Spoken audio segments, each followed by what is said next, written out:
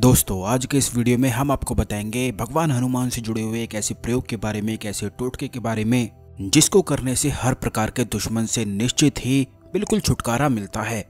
क्योंकि काफ़ी लोग हमसे इस बारे में पूछते हैं कि उनके जीवन में कहीं ना कहीं से ऐसे दुश्मन आकर्षित हो जाते हैं, ऐसे लोग आ जाते हैं कि आए दिन उनका जीवन बिल्कुल नर्क जैसा बनाने लगते हैं और हमेशा ही परेशानी, संकट खड़ा ही करते रहते हैं। और सभी लोगों के जीवन में ऐसी समस्याएँ होती भी हैं कि उन्हें एक ना एक बार दुश्मन से सामना करना ही पड़ता है।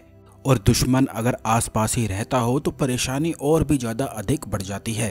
तो दोस्तों, किस प्रकार इस टोटके को करना है, इसकी विधि को जानना और समझना बहुत ही ज़्यादा ज़रूरी है। तो इस वीडियो को ध्यान से देखकर आप संपूर्ण विधि को ध्यान से समझ लें कि किस प्रकार आपको करना है। भगवान हनुमान के जो प्रयोग होते हैं, टोटके होते हैं वो बड़े ही ज़्यादा तीव्र, खास बताए जाते हैं, क्योंकि कलयुग में भी मौजूद देवता केवल भगवान, हनुमान ही हैं। इसीलिए इनसे जुड़े हुए जो टोटके होते हैं, वो बहुत ही जल्दी तेज़ी से असर भी दिखाते हैं। अगर आपके जीवन में कोई ऐसा शत्रु है, जिसने आपके मन का सुख और चैन बिल्कुल छीन लिया है तो आपको बिल्कुल भी घबराने की आवश्यकता नहीं है। आपको सिर्फ़ इस टोटके को करना है। किस प्रकार करना है? यह आप जान लें, इसे करने के लिए कुछ ज़्यादा बहुत सारी लंबी चौड़ी चीज़ों की भी आवश्यकता नहीं है। बड़ी ही आसानी से घर की ही चीज़ों से इस प्रयोग को कर सकते हैं। इसमें बस आपको अपनी शत्रु के उम्र के हिसाब से लौंग ले लेनी है और अगर आपको उसकी उम्र बिल्कुल सटीक नहीं मालूम है तो अंदाज़ा लगाकर भी आप उसकी उम्र के हिसाब से लौंग ले सकते हैं। जैसे कि अगर आपको लगता है कि वह 30 से ऊपर है तो आपको 30 से ऊपर ही लॉन्ग लेनी है। और अगर आपको लगता है वह 40 से ऊपर है तो 40 से ऊपर लॉन्ग लेनी है। लेकिन इस बात का ध्यान रखें कि थोड़ी लौंग ज़्यादा तो हो सकती हैं, लेकिन कम आप बिल्कुल भी ना करें। जैसे कि अगर आपको लगता है कि आपके दुश्मन की उम्र 40 से अधिक है और 50 से नीचे है तो आप 49 लॉन्ग ले सकते हैं।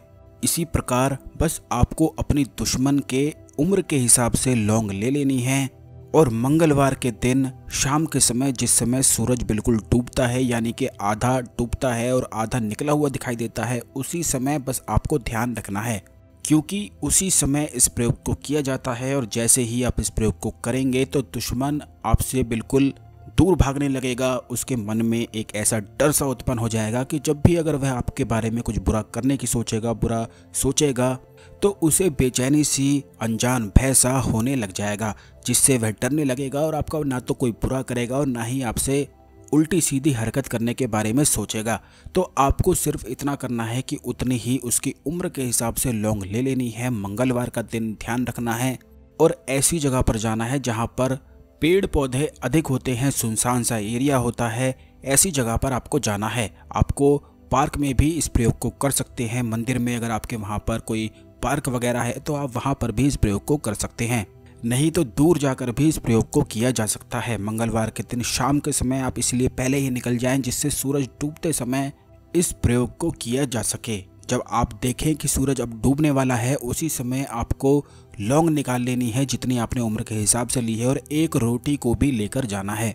और थोड़ा सा आपको सरसों का तेल डिब्बी में भर के लेके जाना है क्योंकि ये प्रयोग लौंग, रोटी और सरसों के तेल से ही आपको करना है। तो सबसे पहले आपको लौंग को रोटी के ऊपर रख के कपूर की सहायता से जला देना है। और इस बात का ध्यान रखना है कि रोटी के ऊपर जब आप इस कपूर को और लौंग को जलाएँगे। बस उसी समय आपको अपने दुश्मन का नाम लेना है और शत्रु नाशाय फट कह देना है। और जब तक इसी प्रकार कहते रहना है, जब तक वह पूरी लौंग और कपूर जलकर राख नहीं हो जाते हैं। रोटी जले या ना जले, इसकी आपको चिंता नहीं करनी है।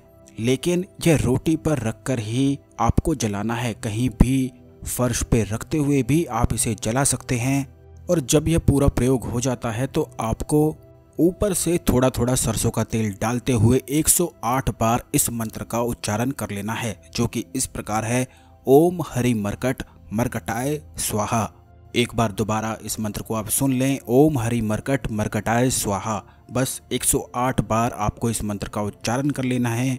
जैसे कि जब आपको लगता है कि लौंग पूरी ख़त्म होने वाली है तो उन लौंग में फिर से एक थोड़ी सी कपूर डालकर थोड़ी सी अग्नि को प्रज्वलित कर लेना है आपको और उसके बाद ऊपर से सरसों का तेल डालते हुए ओम हरि मरकट मरकटाए स्वाहा 108 बार बोल देना है।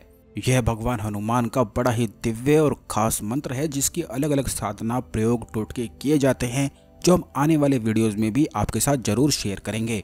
इस प्रयोग का इस्तेमाल आप तब भी कर सकते हैं जब आप अपने जीवन में किसी भूत, प्रेत, पिशाच से परेशान हैं या आपको ऐसा लगता है कि कोई ना कोई आपके पीछे पड़ा हुआ है, अदृश्य शक्तियाँ आपके पीछे पड़ी हुई हैं, या फिर आपको या आपके जानने वालों को किसी को भी पेशी आती है तो ऐसे में भी इस प्रयोग का इस्तेमाल किया जा सकता है। जैसे ही आप इस प्रयोग को करेंगे, उसी रात से बहुत ही अच्छे बदलाव को अपने जीवन में देखने लगेंगे। यह प्रयोग केवल तभी किया जाता है जब दुश्मन मन का सुख और चैन बिल्कुल छीन लेता है। उसी दिन से दुश्मन के बिल्कुल उल्टे दिन शुरू हो जाते हैं। बहुत सारे लोग तो तंत्र मंत्र आदि से भी बहुत ही परेशान रहते हैं बहुत प्रेत आदि से भी परेशान रहते हैं। तो वह सब भी एक दुश्मन के समान ही होते हैं। तो आपको बिल्कुल भी चिंता करने की या घबराने की आवश्यकता नहीं है। जिस प्रकार हमने आपको यह प्रयोग को बताया है, यह बड़ी ही आसान से, क्रियाओं से यह प्रयोग हो जाता है और घर की आसान सी चीज़ों से ही हो जाता है। तो आप बिल्कुल भी चिंता ना करें, आप इस प्रयोग को ज़रूर कर लें। इसी तरह के बड़े ही ज़्यादा खास टोटके हम आने वाले वीडियोज़ में भी आपके साथ ज़रूर शेयर करेंगे। और अगर आपको इस वीडियो में कुछ पूछना है या कोई संदेह है, कोई बात समझ में ना आई हो तो आप कमेंट बॉक्स में लिख दें, जिससे परेशानी का हल किया जा सके। वीडियो को लाइक करके कमेंट बॉक्स में ओम हरि मरकट मरकटाए स्वाहा मंत्र लिखना बिल्कुल भी ना भूलें, जिससे आपको यह मंत्र भी याद हो जाए और दूसरे लोग भी इस मंत्र को पढ़ पाएँ और वो भी याद कर पाएँ और दुश्मन से छुटकारा पा सकें।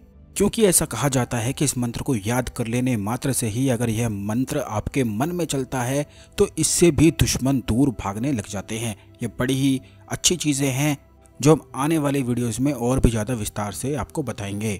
इसी तरह की खास ज्ञानवर्धक जानकारी हमेशा पाने के लिए चैनल को सब्सक्राइब करके बेल बटन ज़रूर दबा दें, जिससे आने वाले सभी ज्ञानवर्धक वीडियो आपको समय पर और सबसे पहले मिलते रहेंगे।